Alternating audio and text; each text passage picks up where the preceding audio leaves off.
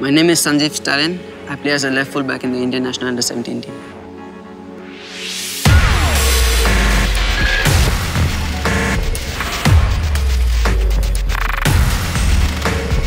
I was born to play football.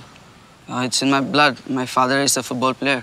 I'm proud to be an Indian and uh, it's my responsibility to do well in the World Cup. And it is an honor to represent our country also. One of the best hobbies is when I reach my home, I watch a lot of movies with my sister. I'm from Bangalore, Karnataka.